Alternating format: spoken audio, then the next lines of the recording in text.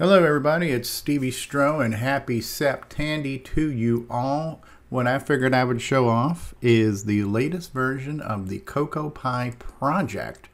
What the Cocoa Pi project does is it allows you to emulate a variety of color computers and family of machines on a Raspberry Pi running anything from a Raspberry Pi 3, 4, or 400. What we're looking at here is the actual GUI desktop background of the latest Coco Pi project. How do we get the Coco Pi? Where do we learn about the Coco Pi? I'm glad you asked. We actually have a website. That website is coco-pi.com and this is the homepage of the Coco Pi project with a little bit of information, right? It uh, allows you to download the image. It tells you a little bit about here. It uh, can emulate color computers using MAME, XRoar, and OVCC. This is the home page. If you want to download the image, this is the download link to download the Unified Community Edition. This is a universal image that will run on a Raspberry Pi 3, 4, or 400. It is recommended you extract this to a minimum of a 16 gig SD card. However, I would strongly suggest you get even larger because there's lots of things we can add to this image. Virtual hard drives, immense software libraries, you name it. This is the image file to download and get. These are some burning image tools that you can use to burn your image to the SD card. You can even download some cool wallpapers from here. There will be a series of how-to step-by-step tutorial videos added. These are very concise videos covering one thing. They're very short in length, you know, anywhere from like two to five minutes on average, going from just downloading and burning the image, resizing the file system, joining your Coco Pi to a network, uh, downloading and applying updates. The great thing about this uh, uh, image now and this latest version is that it is being constantly worked on, it's being constantly updated, and all of these updates are all pullable through the internet through a downloads menu on the Coco Pi utility menu. We, um, so how to set it up and how to get things going, a bunch of videos will be here and will be continuously added. And while the Coco Pi project has been around for probably four years now, this is probably the most active it's been updated and developed in a long time. So as updates are added, they will be posted here to the blog page um, showing you what's going on. And so you can always check here for updates. We're also going to be um, sharing these in the Coco-Pi uh, channel on our Coco Discord server, where you can get near real-time question and answers on the project. So here's a little bit about where to go, how to get it, how to learn how to use it, etc., etc. What does it look like? Well, when you boot up, you're going to boot up to a desktop GUI like this. We've got a lot of different customizable wallpapers that you can choose to fit your mood. And so we've got all different kinds of um, backgrounds to choose from. And so you can really just set your wallpaper to look however you want it to look. You can customize the fonts. I've got some Coco fonts going on here. The old days of the Coco Pi looked very much like this, where it booted into a text mode and it had a, a neat little text menu-based system like this. That's what it was. Um, nowadays, we're booting to a desktop GUI, and that text menu has been replaced even now with a graphic menu and a graphic launcher. So when we pull up the Coco Pi menu, you'll notice here I can emulate a Color Computer 2. And when we say Color Computer 2, uh, Color Computer 1 is assumed. Color Computer 1 and 2 are essentially the same machine. We can emulate a Color Computer 3. And we can also emulate an MC10, Micro Color Computer 10. And we can emulate the Dragon family of computers. And we can do this by default using MAME or alternatively using XRoar as our emulator. And there's also experimental support for OVCC, the open source version of the Virtual Color Computer emulator. However, things work best using MAME and XRoar right now. And so, for example, if I want to pull up a Color Computer 2, I would pull up that menu and we see we've got a lot of different options. I can pull up a stock Color Computer 2 with Disk Extended Color Basic. I can get one with a 6309 processor. I can have one with a multi-pack interface in the um, speech sound cartridge, Game Master cartridge. We can boot up HDB DOS, which would allow us to connect to DriveWire. By the way, DriveWire is running on the Coco Pi already. Uh, lots of different things. We can download an immense hard drive image that's got over 3,000 disks worth of software to look at. Incredible amount of stuff. So if I just double click Color Computer 2, it is going to boot it up in the default emulator of MAME. And here we go. We have the Coco 2 because we're running in a GUI um, and X Windows is enabled, MAME will be in a window by default. However, you can go full screen in MAME by pressing Alt Enter. For the sake of this video, I'm not going to do that, but if you wanted to see your Coco and nothing but the Coco, press Alt Enter. You'll be on full screen. You'll see nothing but your glorious green screen background. Now that we're in MAME, how do we load software? Well, this is now understanding how to use MAME, and there is a uh, video on this on the website on how to use the MAME and how to fine tune the user interface. We press Tab to bring up the user interface. I would go down here to File Manager. One of the easiest things to do is to load a cartridge. So if I say I want to load a cartridge and I hit enter, uh, there's a software list built in right now. So if I choose software list and I choose Tandy cartridges, this has all of the various Tandy color computer games on cartridge already. And so, for example, one of the most famous games for the color computer is Dungeons of Daggorath. If I highlight Daggorath and hit enter, that cartridge is going to load. That cartridge is going to boot up. And here we are. We are playing Dungeons of Daggorath on our Coco Pi. Not too bad, not too hard to do. So loading cartridges is real easy. Also worth pointing out that this is not meant to be a retro RetroPie. This is not meant to be a joystick driven um, choose a game, press a fire button, launch and play the game. This is more of a Coco emulation and it is more of using uh, color computer as if it was on real hardware. So to get your games, you got to load your games just like you did on a real machine. So this emulates the experience of a real color computer. It is not meant to be a quick and easy game loading device. If we want to get out of here, we'll go ahead and press escape. Are you sure you want to exit? I'm going to hit enter. Yes, I do. All right, let me show you how to load software on a color computer 2 from disk. And this time, instead of using MAME, I'll use XRoar. So we're going to go ahead and pull up a standard color computer 2 with disk extended color basic. Notice there's lots of other options here, but we'll just pick up this machine right now. And XRoar actually makes it a little bit easier than MAME does. So number one, I can full size this uh, without hitting Alt Enter.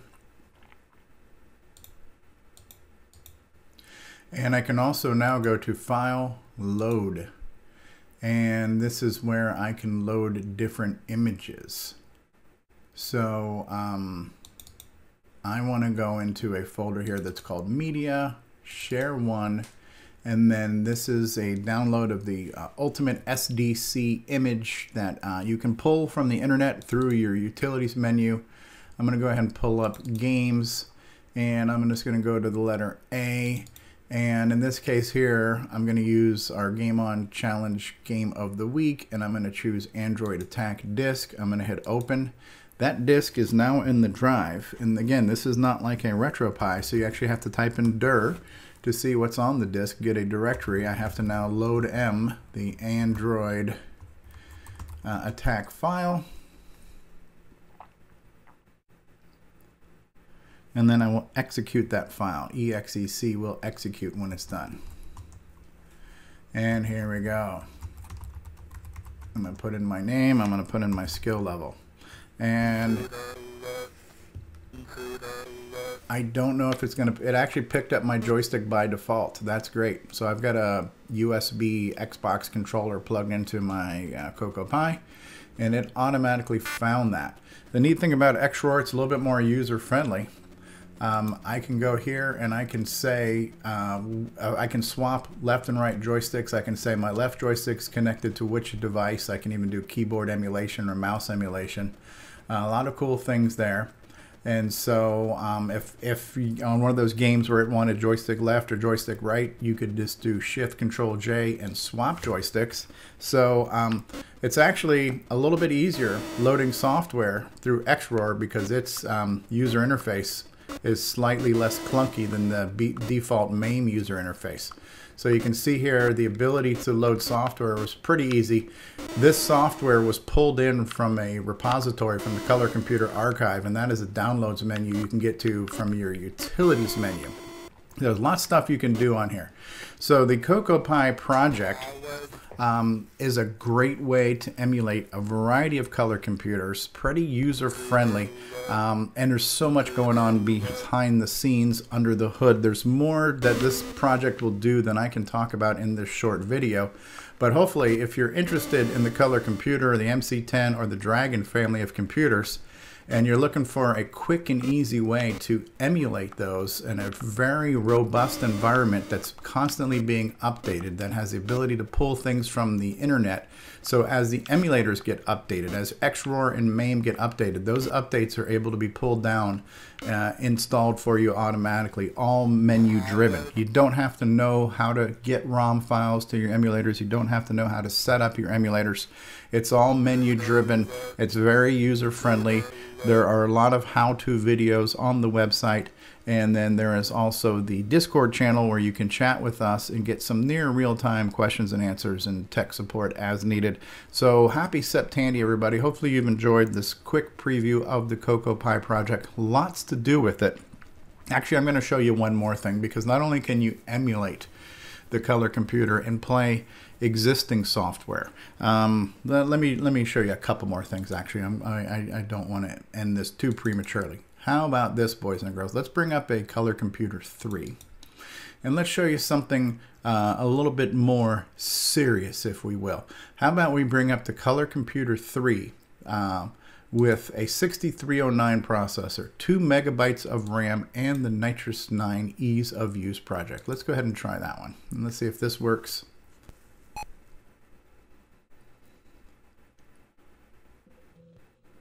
And look at that.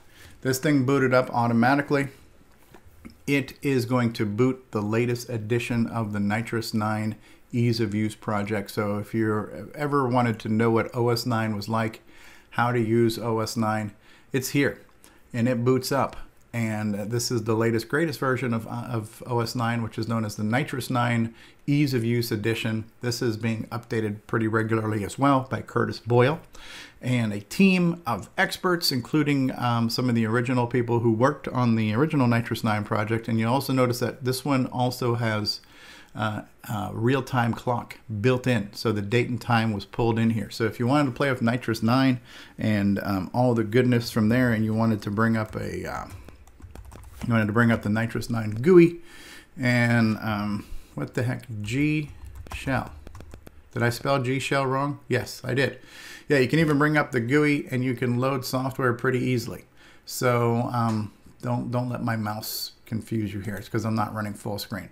So yeah, it's got a nice little GUI that lets you pull up software. So we have that going on too. You can not only play games, but you can do serious stuff with the NitrOS-9 operating system. And if that wasn't compelling enough, but wait, there's more. I'm going to show you one more thing. This is a sneak peek at something we're going to be doing a proper intro and how-to video on in the near future. But we can also do software development on the Coco Pi using a full screen modern editor, kind of like an IDE, integrated development environment. And you can write software in a variety of languages from basic to C to assembly. You can write your source code in here and your source code would um, pretty much look like you were typing it in on a color computer. The only difference here is now I can use a mouse, I can highlight, I can full screen edit, I can copy and paste.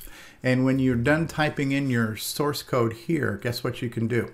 You can build it and run it on an emulator. You can actually run it in DriveWire and um, push it over to a real color computer. Lots of things we can do here. In this case here, I'm gonna go ahead and launch a disk into XRoar and we're going to see what my program looks like here. So it's taken my basic program that I wrote, it's brought it up into XRoar, and then if I type in dir to see what's on my disk, this is the little test program that I just typed in. The source code that I showed you from before, it's here.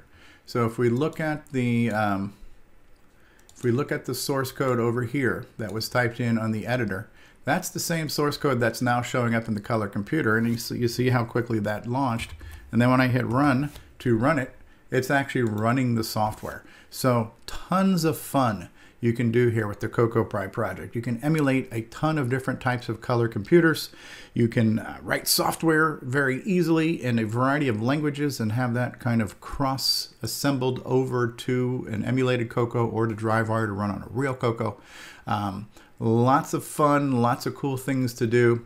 The color computer, my favorite computer, uh, is easily emulated on the Coco Pi project. This is the latest edition, the Unified Community Edition. It's a single ISO image you can burn to a micro SD card, 16 gigabytes or greater. It will run on a Coco Pi, will run on a Raspberry Pi 3, Raspberry Pi 4, Raspberry Pi 400, and it will let you experience color computing in the modern era.